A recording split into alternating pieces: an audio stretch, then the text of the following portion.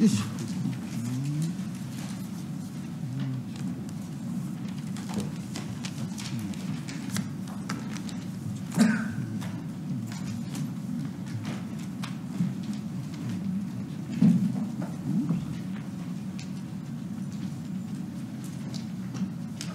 次に足立康君、はい足立君、えー日本維新の会の足立康でございます。えーっとですね、今日はあのここにあの今日は経済産業委員会ですが、ちょっと間時間を頂戴をして、あの官邸に今あ行かせていただきまして、えー我が党の片山共同代表、えーはじめですね、えー我が党のメンバーで、えー総理官房長官とお会いをして、今日はあの新型コロナ対策の第5弾目の、えー日本維新の会としての5つ目の提言をですね、えーてえー申し入れをしてまいりました。えーぜひこれあの、新型コロナ、あの大事な、えー局面でございますので、えーこの委員会でも、まあ、後ほど持続化給付金とか、まさに新型コロナ対策の中で、えー踏ん張っていただいている国民の皆様への、えー支援策、これについて議論をさせていただきたいと思いますが、まあ今日我が党はあの4つの柱で、まあ、出口戦略、今、吉村知事はじめ、大阪でね、えー大阪モデルということでやってますが、まあ、しっかりこの地域の独自の基準なんかも尊重しながら、えー出口戦略をしっかり作っていこうとか、それから、まあ、自粛一辺倒では経済で、えーえーそれこそ、えー自殺者が増えるとかですね、大変問題があるわけでありまして、あの自粛一辺倒政策から、えーまあ、高齢者や基礎疾患保有者のに特化した、まあ、特に重症化しやすい方々をどうやって守っていくか、ここに重点化した上で、経済再開をですね、経済を再開させていくべきだということとか、それから医療提供体制、さらには第2次補正予算、まあ、そんな議論をさせていただきました。それからあの、あと今日この経済産業委員会の横でですね、あの内閣委員会、えー議論がありますが、えー昨日ちょっと話、大臣すみません、あのちょっと関係ありませんが、あの昨日実は夜ですね、津田大介さんが司会をするね、あのえーなんだ、えー国家公務員法改正案、検察庁法改正案の、えー議論がありまして、このご案内をいただいた紙にはね、与野党に聞く、検察庁法改正案についてって、こう与野党に聞くなんですよ。公明党さんも出てきてくださいね。あの自民党さんもね、あのそあの経済産業委員の皆様に申し上げても仕方ないけど、自民党、公明党出てこないんですよ。だから僕一人でね、もうサンドバッグみたいになりましてね、もういまだにあの、今あの、左寄りの方々は今あの、ネット上でとにかく足立総攻撃になってましてね、別に僕はあの与党じゃないんですが、ただ、あの検察の、検察をどうマネージしていくか、どういうふうにその権力というものを投与していくか、それは統治機構の大変深い話でありましてね、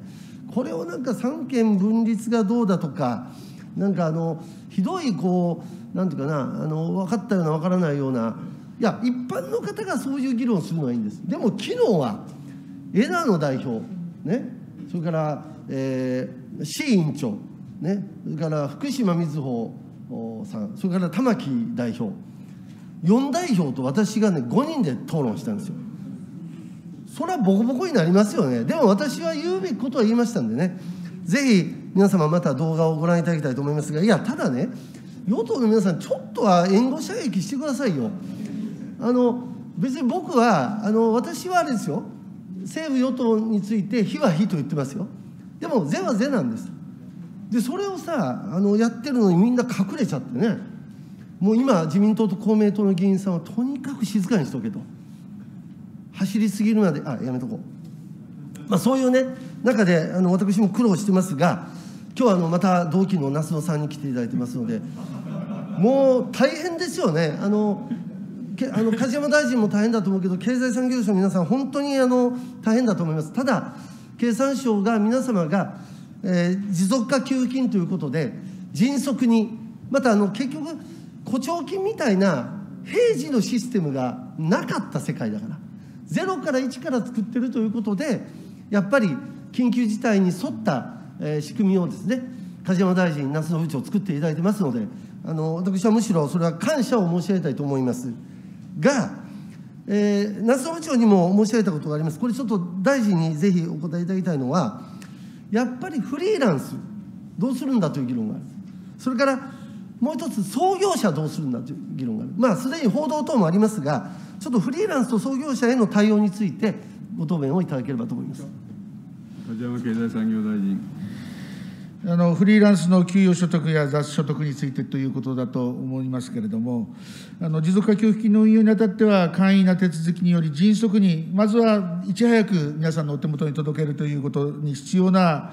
現金をお届けすることが重要だということであります。この観点から、事業からの収入であることが明らかな確定申告書上の事業収入をもって、前年の売り上げを把握することとしております。あのフリーランスの方でも事業収入に当てている方はすぐにこれはこれでしっかりと手続きを済ませるということでありますけれども一方習い事教室やの先生やフリーのイベント司会者などフリーランスの方には方の中には事業からの収入であるにもかかわらずこれを給与所得や雑所得として計上されておられる方が多数おられます。これはあのこれこれまでずっとやってきたというの継続でやっておられる方がたくさんおいでになるということは承知しております。こうした方々に対し、具体的にどのような対応ができるかということを、関係省庁とも連携して、今週中をめどに、え、方針をお示しできるようにしたいと思っております。雑所得はですね、所得税法の9分類の他のもの全部が入るような形になりますんで、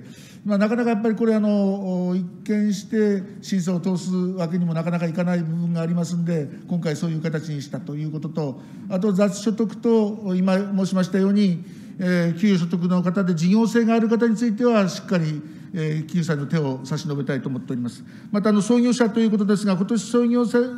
れ、前年の売上が存在しない事業者については、売上高に基づく適切な給付額の算定が困難ですので、売上がいまだにない場合には、販路価の開拓の取り組みが事業継続の大前提である場合が多いと存じます。このために既存の売上があることを前提とした持続化給付金ではなくて、販路開拓に必要な経費を補助する、小規模事業者持続化補助金で、え上限引き上げなどの特例措置、また現金も即給付ということも含めた特例措置を設けることなどにより、実情に寄り添った支援を行って行っていることであります。委員長。足立康君。委員長、いいですか？はい。あの、ありがとうございます。あの、フリーランスについてはね、大変難しい枠組みの中で、あの頑張っていただ、まあ、ご検討いただくということですので、あのぜひお願いしたいと思いますが、あの創業者もですね、えー、まあ、持続化補助金、今、ちょうど安倍総理からもね、あの足立さん、経産省だろうと、知ってるだろということで、えー、補助金っていうのがあるんだということで、安倍総理からも今、あの持続化補助金のご紹介を、えー、今、官邸でいただいてきましたが、やっぱり使途がね、持続化給付金はまあいろいろ使えると。で持続化補助金はやっぱり限定されてる。当たり当たり前ですけど。そうやけどそうそうでであるありますが今の現下のコロナの状況の中でじゃあ販路開拓どこまでできるかっていう議論があるということは前もあの申し上げた。だからぜひねあの例えば使途をもうちょっと緩めるとかね。だって緊急事態なんだから。だからいや持続化まああの別の制度ですよ。別の制度でよく分かってるんですが持続化給付金が適用できない創業者の皆さん。でも苦境は一緒ですから。苦境は一緒。その中で持続化補助金がある。じゃあやっぱりその持続化補助金も緊急時に対応した形でなんかやっぱり工夫をね一工夫を一工夫じゃなくて二工夫三工夫やっていただきたいなということでちょっとまああの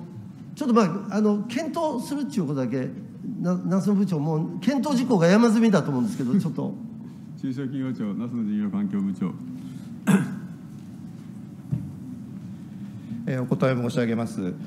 あの小規模事業者持続化補助金においてあの今年創業した方についても上限をまあ倍にしていると。それからえー売上高が前年同月比で20%減少していれば事業完了を待たず、まあ、つまりその終わってから年度末にお金を出すんじゃなくてあの交付決定と同時にですね一定程度お支払うということであの委員のご指摘も踏まえながらですねあの最大限の工夫をしているあのつもりでございます。あのまあ、今後ともあのいろんなご指摘ございますのであの何ができるかあの改善は続けていく所存でございます。はいはい、ありがとうございます。よろしくお願いします。さて、あの、今日はですね、あの、マイナンバー法人番号、法人番号、個人番号の話を、あと残る時間でさせていただきたいと思います。えーこれあの、また、夏野さんになるのかもしれませんが、持続化給付金を、においてはね、持続化給付金を、まあ、あえ電子、オンラインでいろいろこう申請をしていただいている、その中で法人番号を使ってますね。どんなふうに使ってられるかご紹介をいただきたいと思います。那須野事業環境部長えお答え申し上げます。あの持続化給付金の審査におきましては、あのまあ、一刻も早く多くの事業者の皆様に給付金をお届けするという観点から、電子申請えーによるまあ申請をまああの基本としておりまして、まあそれからあの公的な書類である確定申告書類えーの証拠書類を用いるということで、迅速簡易な給付を実現するというようなあの立て付けになっております。でこの時にですねあの国税庁のシステムというのはございましてこの中で法人番号があの法人ごとにまあ必ず振られておりますでこの法人番号にはですねあの称号、まあ、それからまあ名称といったものですねそれからあの本店または知ってある事業所の所在地というのがですねあの紐づいていましてでこれはあの高知の情報としてあの外部からも私どもからも、まあ、アクセスできるような状況になっております。まあ、したがってあのこの給付金の申請にあたってはあの法人については、えー法人番号を入力していただくということでこれは内容性にあの活用しているということでございます。えー今、夏野部長からご紹介いただいたように、法人番号を入れるとですね、あ入れるとっていうのは手続きがまた違う、まあ、細かいことはいいや、とにかく今あった国税庁の法人番号のシステム、これは3情報が結びついてて、あのいわゆる住所、住所っていうか、その会社の所在地とか、えー会社の名前とか、称号とか、そういうものが全部自動的に出てくるわけですね。ただあの先日も経済財政諮経済財政諮問会議の関係で西村大臣が会見でおっしゃってた。あの例えば今あった確定申告の書類なんかもね本当はこれ役所側にあるわけですよ。役所側にあるんだからそれもむすまあ次国税庁ね。あの夏野さんちょっとゆっくりしてください。国税庁今日来ていただいてます。これ3情報だけじゃなくてもっと国税はもっといろんな情報を持ってるんだから。そんなものをいちいち確定申告の書類を出させなくてもね法人番号さえ入力すれば全部ガバメントサイドにあるんだから。それ全部やればいいじゃないかとずっと僕は思ってきたけどおそらく今使えてるのは3情報だと思います。もっと合理化できると思いますが国税庁いかがですか？国税庁重藤和恵部長。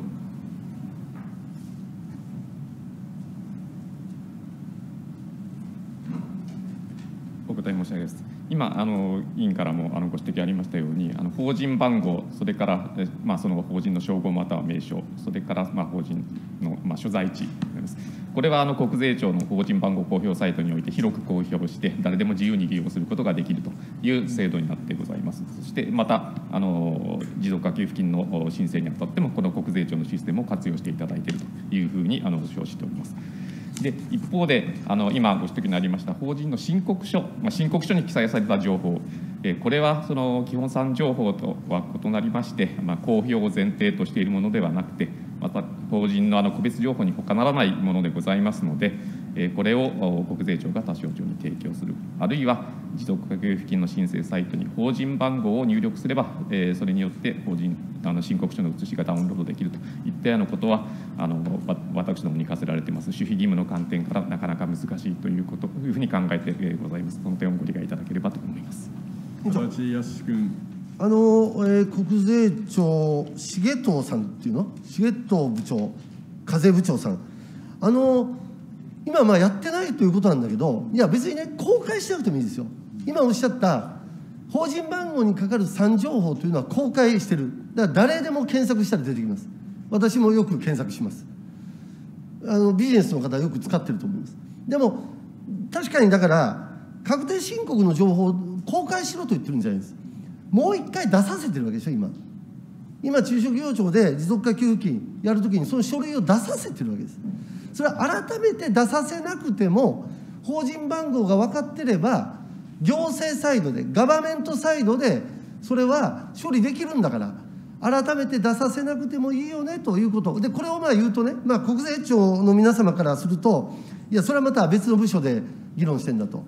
デジタルガバメント。まさにデジタルガバメントということで政府全体で実行計画ということでやってるわけですが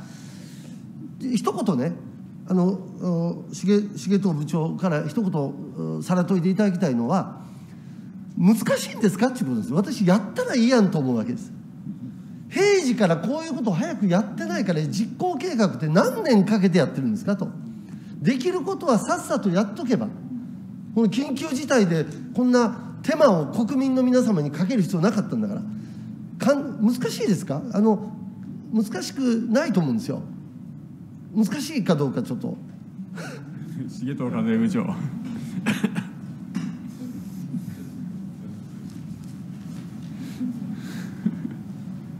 えっと、お答えいたします。あの、えー委員もご指摘のとおり、あの 省庁間で持っているあのさまざまな情報を共有するような取り組み、これはあの今もういろいろ検討が進められていると思います。ただそうした中で、あのまあ、情報の中にもあのかなりあの納税者の情報あるいは申告情報とかなりあの機微にかかるものもあればまたそうでないものもあると思いますまたその、えー情報共有の仕方もバックヤードであの省庁間同士でやるのかあるいは納税者の方にあの、まあ、すぐにあのワンストップのような形で還元する形でやるのかといろんなやり方はあろうかと思います。ただあの省庁間で連携するにしましても私どもそれぞれ法律に基づいているような情報を取ってございますので、えーそういう情報を他省庁に提供するという場合それはまた法令にのっと法令に即して、えー情報提供の求めをするようなあの法律上のあのそういう規定がある場合とかそういったのに即してあのやあのまあ、やり取りをする。またそういったのに即してまた一方でその守秘義務との関係を考慮しながら検討するとそういったことが必要になってまいりますので、そう簡単にはいかないというところをご理解いただきたいと思います。いやだからねこれはねそれはあの重藤部長にやってくれって言ったかってできませんよ。だって法律改正なんだから。だから国会があるんでしょ？だからぜひねあの自民党の皆さんもねあのこういうのをどんどんやりましょう。でもちろん政府でデジガバ実行計画それはやってるの知ってますが遅い。遅い。だからこのパンデミック収ま収める、まあ、なかなか収まらないんだけどあのぜひねこういうあの緊急時のに緊急事態においても国民の生命と財産を守るためには平時から国会がちゃんと仕事をしてないといけないということでね、まあ、野党の皆様にも申し上げておきたいと思います。あの西山局長は今日あれですよね、あの G ビズで来ていただいてて、すいません、ちょっと時間がなくなってきたので、あの昨日勉強させていただきまして、G ビズインフォ、G, G ビズ ID、あの大変素晴らしい仕組みがですね、あのあるということも聞いてますが、ちょっと今日質問しようと思ってましたが、ちょっと割愛をさせていただいて、今、あの個人、えっと、えーなんだ法人番号の話をしましたが個人番号マイナンバー今あのテレビでね報道でもマイナンバーカードで電子申請すべきところがパスワード忘れたから3密になっちゃってるとそればっかりやってるんですけどまあそれはもうどうでもいいんです。だってマイナンバーカードなんて15%しかも人方しか持ってないんだから。それはだからもう忘れた人は本当は使わなければいいんですよ。緊急事態なんだから。だから私がこの新型コロナ対策においてマイナンバーマイナンバーマイナンバーと言い続けてるのはマイナンバーカードじゃないんですよ。マイナンバーなんですよ。ね？で、えー今日はあの毎度でございますが向井、えー向井えーえーとなんだっけ？名前は分かってる。あ内閣審議官。ね？向井内閣審議官お越しをいただいてます。これあのマイまずねマイナンバーっていうのがねいかほどに重要かということ国民の皆さんも分かってないんですよ。大変な処理を要はバックヤードでバックオフィスでバックヤードでさまざまに今すでにマイナンバー使われてますね。いかにマイナンバーというのが強力なツールであるかと、まあ、インフラ制度インフラであるかということをちょっと思いの丈を言っちゃってください。内閣官房向井内閣審議官。お答え申し上げます。あのマイナンバーにつきましては日本にお住まいの全住民がすでに有しておるところでございまして2016年1月以降マイナンバー法に来てます規定マイナンバー法に規定されております社会保障税災害対策の各分野の行政事務例えば年金とかそういうもの国税地方税こういったものに、えーまずあの名寄せの手段として使われていると。でさらにあの名寄せされたものをですね番号でですねそれ違う機関の情報連携をするということが重要な問題でございまして例えば児童手当の申請や介護保険料の減免申請など約2000の社会保障手続きの事務におきまして手続き時にマイナンバーを提供していただき行政機関間の情報連携を実施することによりこれまで行政機関に発行申請し添付する必要のあった住民票の写し課税証明書等の省略書類を省略可能とするなど利便性の向上を実現しているところでございます。昨年7月以降は年金関係の手続きの本格運用が開始されましてその情報連携を行うための情報提供ネットワークシステムを使用した情報紹介提供の業務処理件数は1か月あたり400万件から500万件多い月には700万件超となっておりますのでその分の書類が省略されるということでございます。ねまあもう一言言っていただいただけでも分かると思いますがすごいパワーなんですよ。それどういうパワーかって言ったら国民にとって利便性が高まるんですよ、まあ、役所もそうですけどね。役所が便利になるということは国民も手間が省けるわけですよ。だから新型コロナ対策でもそれを使ったらいいやんということをまあ言うわけだけどでも当然今マイナンバー法はそれを認めてないんです。税と社会保障と災害対策しか認めてないんです。だから早くもう2月から1月から去年の12月から私はマイナンバー法改正して新型コロナ対策が使えるようにしようと言ってきた。そしたらようやく昨日自民党にマイナンバーに関する PT ができて新藤先生が座長木原誠二さんが、えー、幹事長。それから、えーと、小倉先生があ、えー、小倉正。正？正信さん。小倉正信さんが事務局長ということでね体制作っていただいた。ようやくですけどでも野党よりましですよね。玉木代表なんか「いや足立さんそれマイナンバー重要だからやるやるやるよ」って言いながら一向にやりません。ね。あの野党もねいい加減にしたらいいと思うのはねあの要はねお金くれって誰でも言えるんですよ。だってそうでしょ？自分の懐じゃないですから国の税金なんだから。だからお金もっと増額しろ。ね？共産党でも言えますよ。でも難しいのはマイナンバーみたいに制度論としてあの要は頭使わないとどうしたらいいかわからないようなものですよ。だからそれについてはね結局玉木代表もねやるやるやるやる詐欺です。もういい加減にしろと僕は今日はちょっと一応マイクの下で言っておきますが自民党ようやく昨日 PT を作っていただいた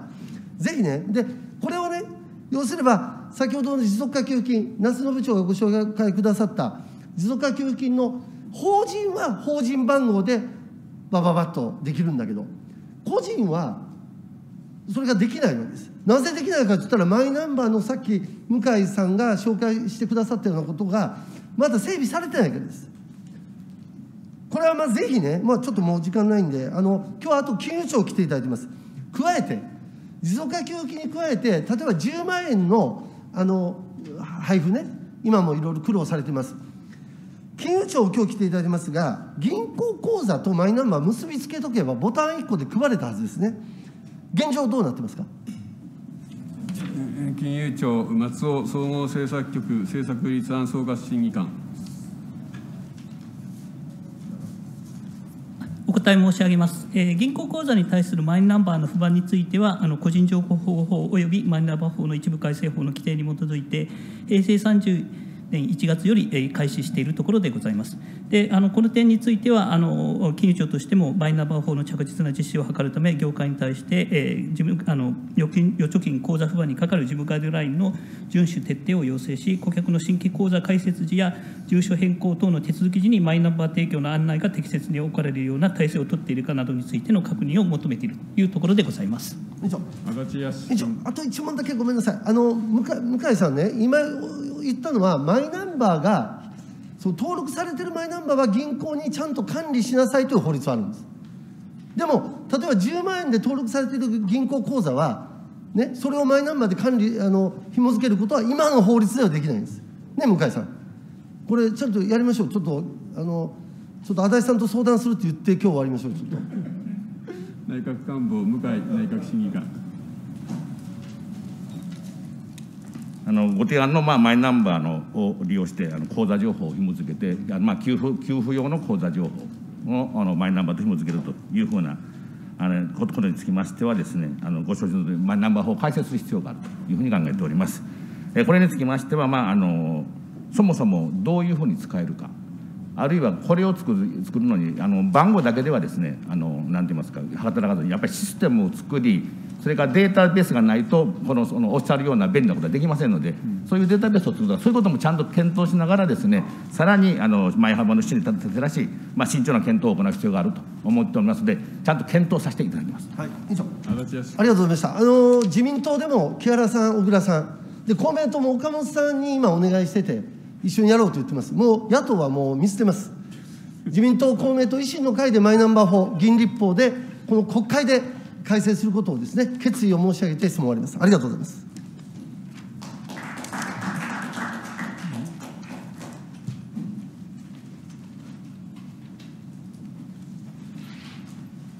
次に内閣提出、強靭かつ持続可能な電気供給体制の確立を図るための電気事業法等の一部を改正する法律案を議題といたします。これより趣旨の説明を聴取いたします。梶山経済産業大臣。